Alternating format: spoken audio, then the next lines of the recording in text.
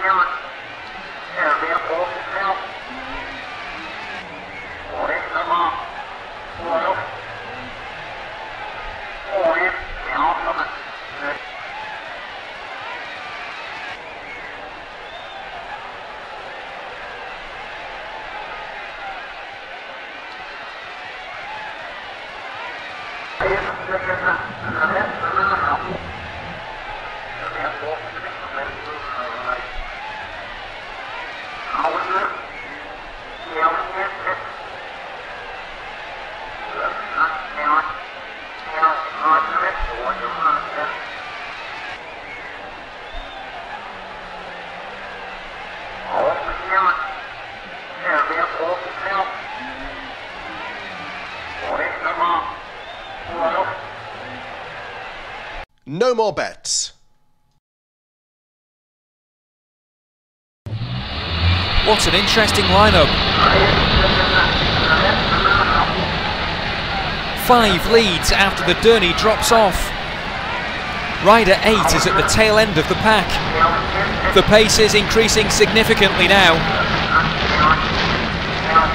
The riders stay firm and try to remain in the slipstream. 5 is in front.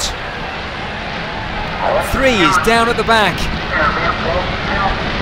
Into the final lap we go and 5 leads. The chasing pack are well positioned to make a move.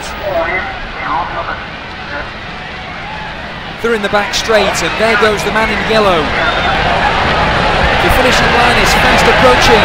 Five has won this race. Six in second place. And in third place is three.